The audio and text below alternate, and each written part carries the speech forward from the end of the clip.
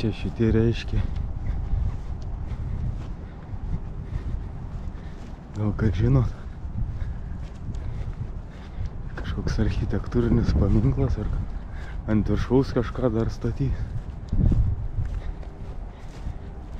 Kaip į vieną pusę patekdavo.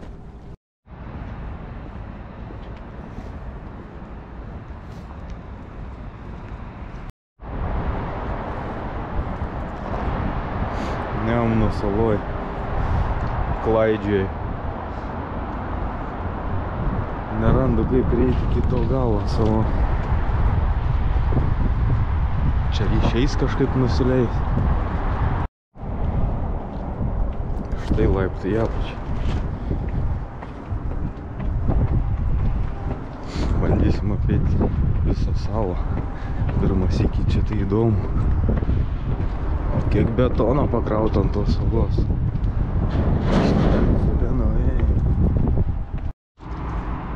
Dabar esam prie Nemuno salos. Vieno iš galo. Čia skulptūra pasirodo toks mitinis Kauno žvėris, požeminė ir saulėto Kauno gyventojų. Einam iš arčiau pažiūrėti. Čia jau dirbtinai padaryta tokia. Kaip ant povandeninio laivo, kad eitum čia.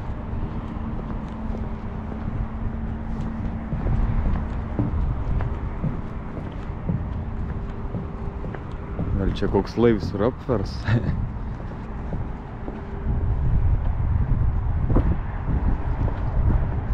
Nebuvau net girdėjęs, kad čia toksai paminklas. Ale žvėris.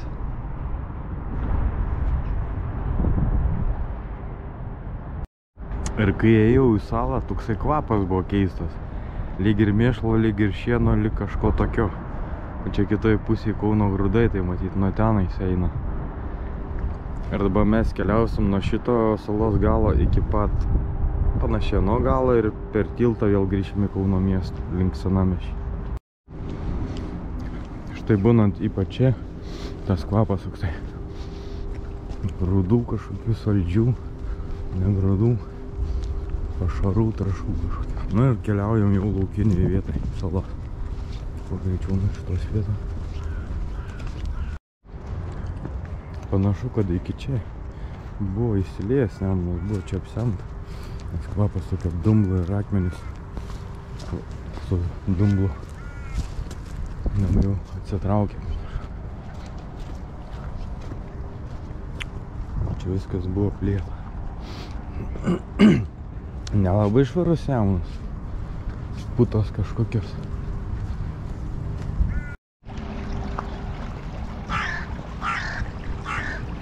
Labas rytas, nemunėlė. Pirmas iki šiemet sveikinamas. Uputėlė. Varnos kranks.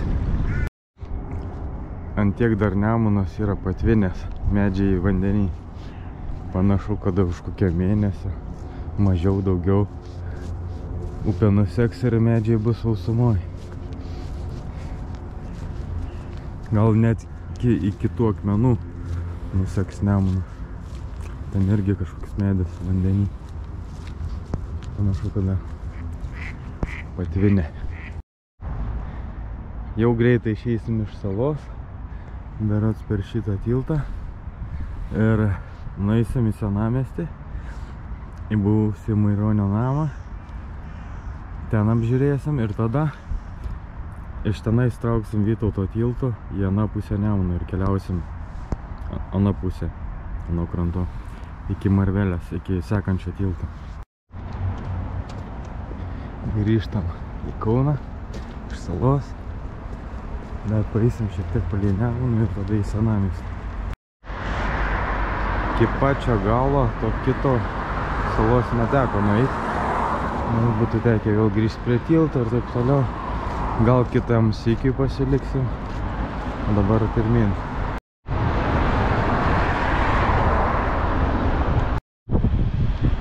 Klausimas, aš ten prie tilto bus perė, tai išbandykim. Požeminę perėj. Ir čia jau karo metu bus slėptuvė, pažiūrėkim kaip čia slėpsimės.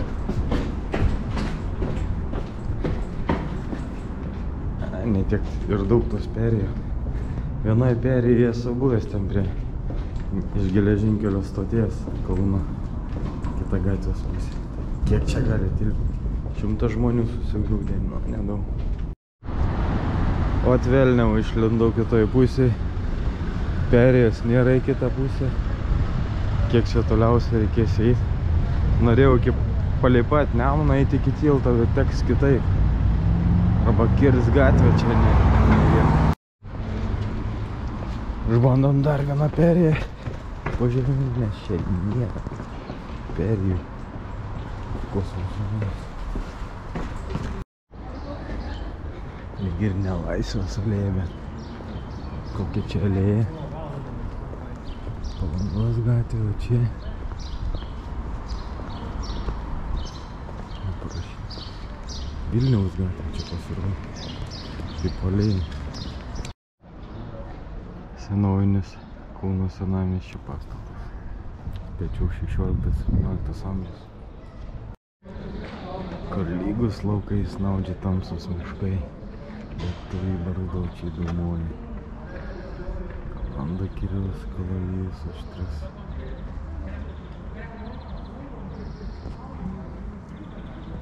Kaune Maironio kapas. Mylimiausias poetas. Mano. 1863-64 metų sukilimo metu ir čia Kaune prieš Rotušę šita aikštė buvo įvykdytos kelios mirties bausmės. Taip vadinamas Siručio namas. Kaune statytas jis maždaug 16, galbūt 15 amžiaus pabaigoje, o 20 amžiaus pradžioje jį nupirko poetas Maironis kunigas.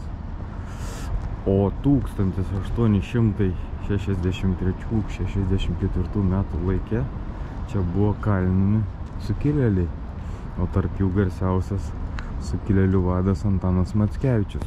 Šito pastato Rusija. Tai bandysime ten nueiti, aplankyti, apžiūrėti. O šiame pastate gyveno pirmasis Lietuvos bankų valdytas Vladas Jurgutis, kuris karo metais su Jonu Noreika buvo ištrimtas į Vokietiją, į Štutgofko stovyklą. Ir ten jį mirštant Jonas Noreika išnešė ant pečių. Išsaugojo jo gyvybę ir jie kartu grįžo į Lietuvą.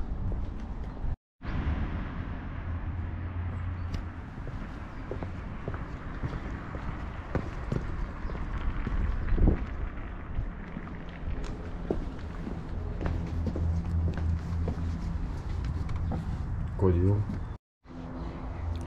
Dirba, muziejus, įleido, sako, prašom, prašom. Jeigu tik rusys, tai iš vis nemokamai. Rusiai kalėjimas. Kaip įdomu, čia įdomiausia vieta šiandien. Jau spėjau ir galvą susitrenkti. Įsiamžinau. Ir čia buvo kalinamas Antanas Mackevičius ir iš šito kalėjimo vedamas į mirties bausmės vietą. Siručio rūmai, taip vadinami. Broliai žemaičiai, o tai kryžius sukapotas Maskoliu Varšavo. Mhm.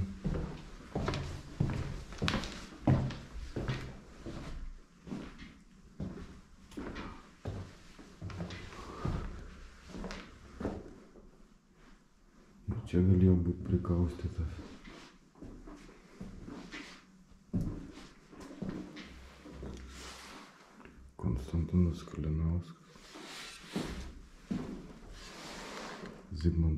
Sirakauskas. Nu, bet jie čia nebuvo kainami, jie Vilniui buvo. Bet Antanas Mackevičius. Už žmogiškas žmonių teisės, už mūsų ir jūsų laisvę toks buvo jo šūkis. Kokie gotikiniai skliautai.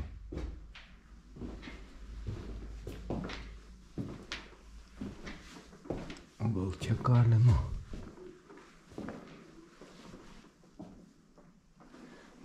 Mackevičiaus egzekucija. Gruodžio 28 ryto Kauno gyventojų ramybė sudrumstė krupus būgnų tratėjimas. Staiga per minę nusiritos judimo banga į egzekucijos vietą. Kareivių lydimus artinosi nuteistasis. Jis žinojo, kad jam pasigalėjimo nebus.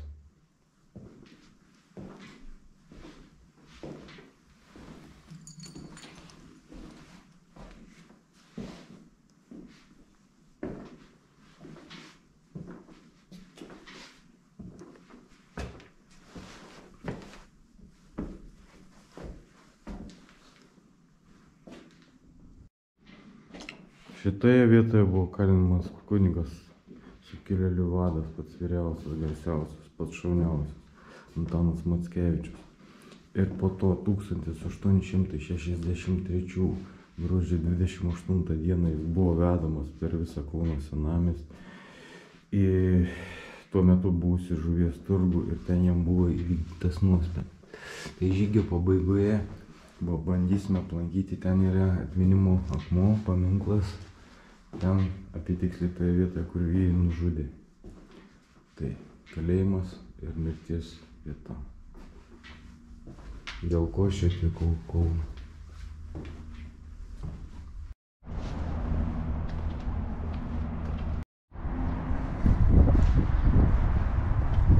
Kažką naujo atkasė čia įdomaus.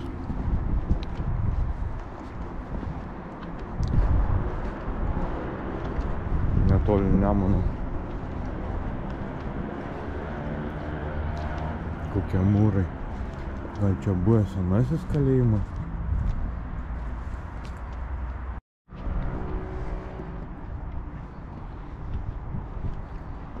Didelis plotas pastatų atkastas, netgi su, kaip suprantu, pirmą aukštą. Viskas buvo po žemėm. Čia užgriuvę. Kaip įdomu būtų palandžioti tenais. Kažkada buvo laiptukai, kaip užlipdama. Užlips ir perlipsiu. Tikrai perlipsiu čia.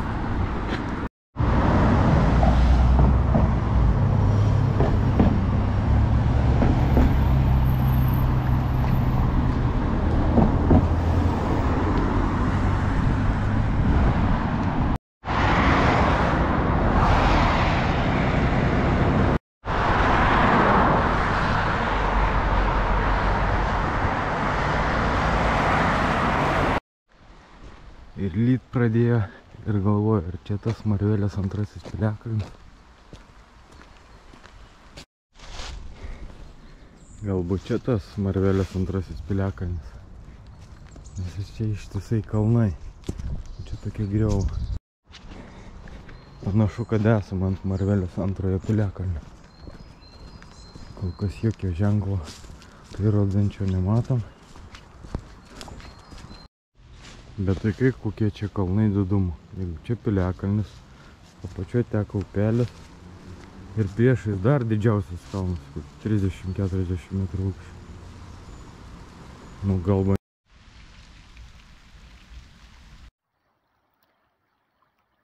Viešpenio upelis. Net kalėjimuose tokių aukščio tvorų nebūn kaip čia. Nežinau, jie čia saugo. Kaune auto kaustą kažkokį. Mašinų detalės ar kažką. Belia kaip žodžiu. Snaudžia laputė.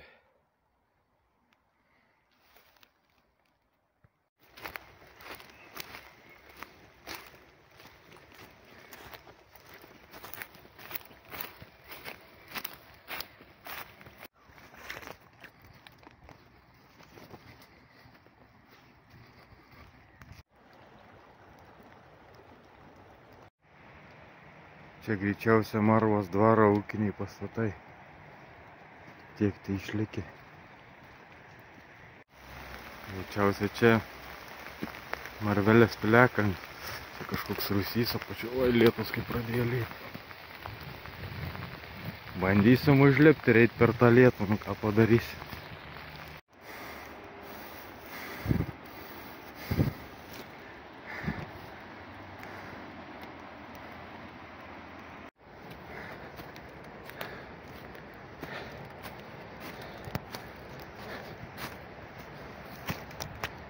Stirnas nulėkė.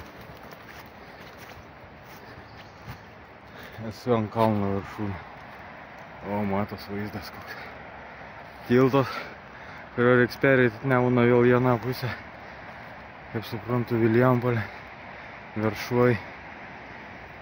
Lietus tai lyna, tai nustoja.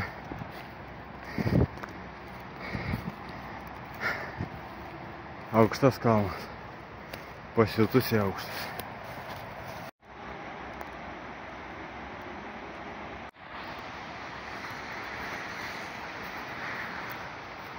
Reikia kelią išeiti.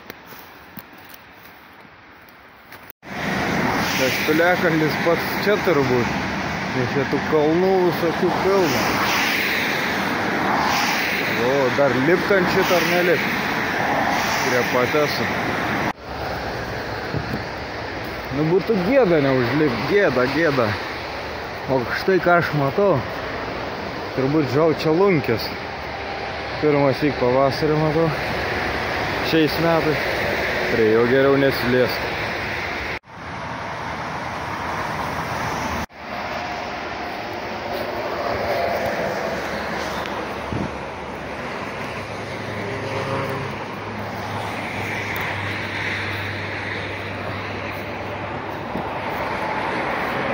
Čia aukščiausia vieta. Nu, ten panašiai.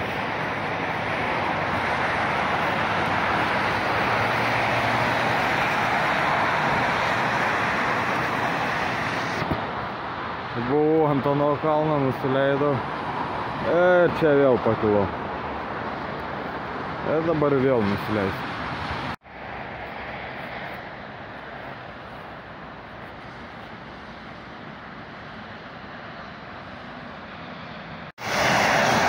Man reikia nusigauti kitą Nemuno pusę. O eismas čia toksai labai pasiutęs.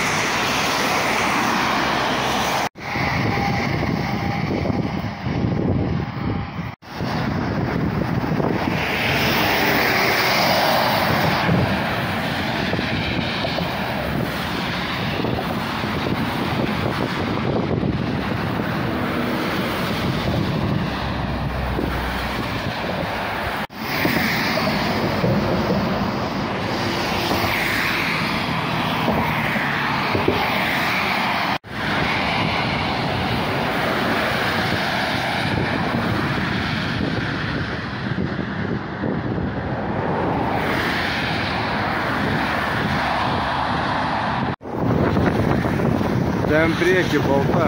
Gerai, nematau, bet man panašu į raketą laivą tą. Kur nemonų plaukė. Nepritraukė normaliai.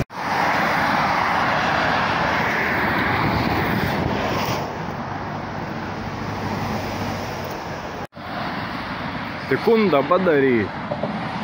Per tiltą eit ar į apačią. Man, man atrodo į apačią, nes reikės į kitą pusę nusigauti kairę. Per tiltą čia bus sudėtinga. Štai viršvų piliakalnis prie pat miesto. Į šitą dar užlipam ir grįžtam į miesto centrą.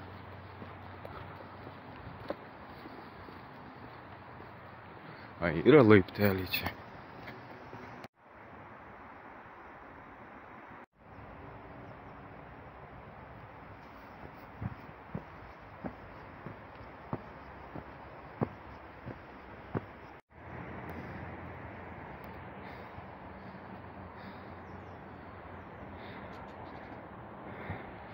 Galvoju, kad jau čia viršų kalne pasirodo dar tiek patį viršų.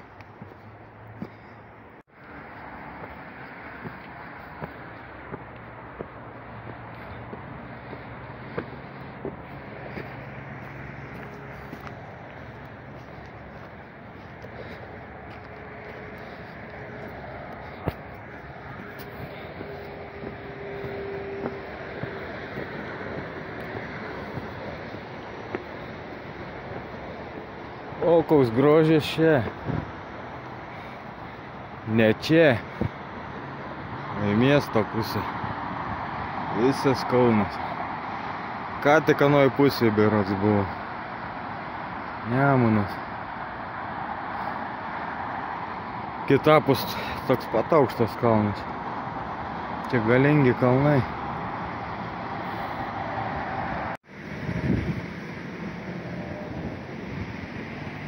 Kažkoks upelytis viršuose. Kerta raudondvario dvarai panašu į Nemuno įtaką. Ir vėl pradėjo lyti, nors saulutė išlindo, tai gal ir vaivorykštė bus. Ir einu raudondvario plentu, ilgai ir nuobodžiai. Na, bet kad nebūtų taip nuobodu, greit pasuksiu Brastos gatvę. Arčiau Nemuno. Tai žiūri, beinant, koksai senas laivas čia iškeltas ant kranto. Upių laivas, matyt. Pasirodo, kad tam laivo leliuja jau jį pjausto. Jų čia pačios nebėra dugno. Vidai su balionais. Suvirinta į pjausto.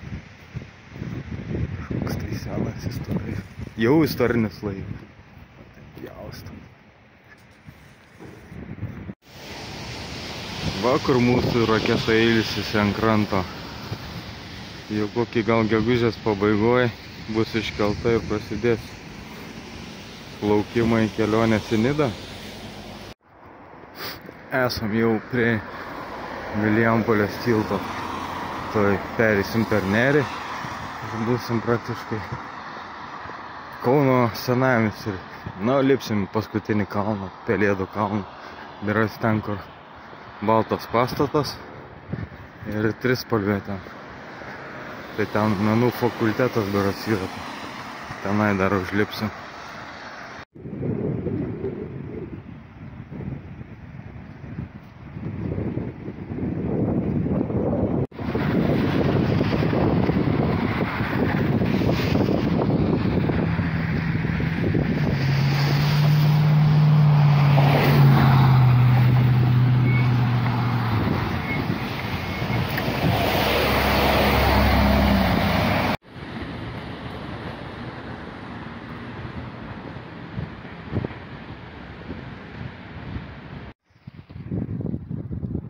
O tai kas čia seniau buvo iki tos mokyklos, to fakulteto? Kažkoks dvaras turbūt.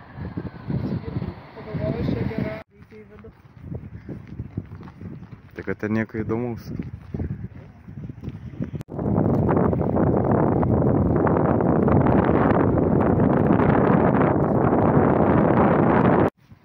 Pagaliau radom nusileidimą į Savanorių prospektą.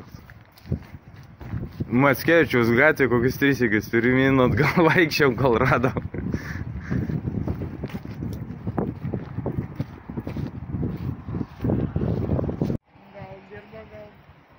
Ir tiesiai išlysim, turėtume išlysti prie paminklo Antanui Mackevičiui, berots matau, ten kryžius yra. Gal čia kokiai spec bendruomeniai panašiai. Tai šitoj vietoj yra paminklas atminimo Antanui Mackevičiui, sukilėlių vadai. O sukilimo laikų kažkur maždaug toje vietoje, ten toliau turėjo būti žuvies turgus, kurį ir pakorė.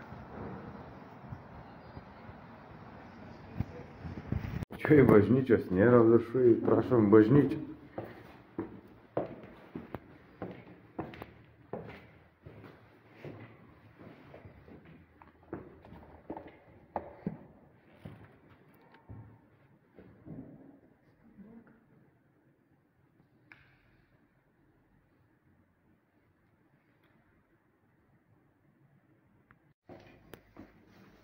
Trečias aukštas.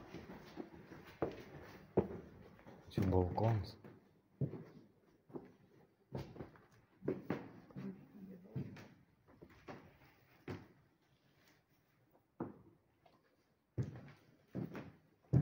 Dar yra ketvirtas aukštas. Kaip čia žmonių nieko nėra, nesuprantu.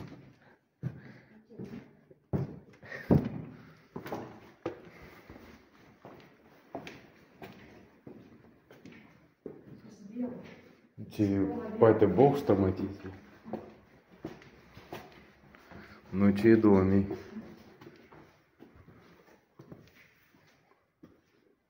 Ei, tu dar toliau ten yra laiptai.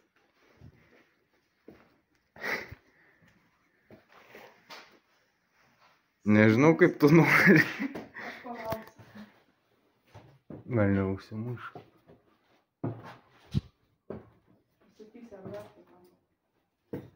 Čia matai, laiptai kažkokie tai. Ten dar aukščiau yra. Bet jau pačiam bokšte.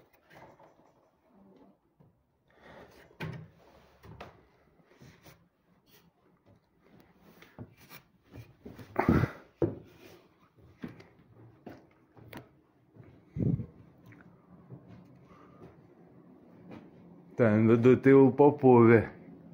Ne viduj o aukščiau.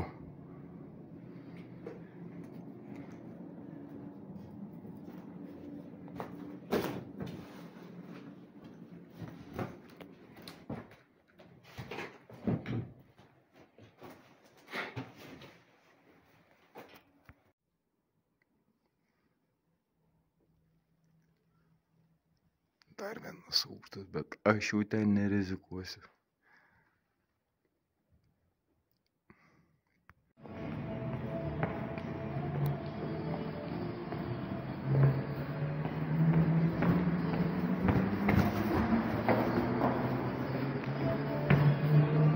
Aš čia per arabišką muziką groju.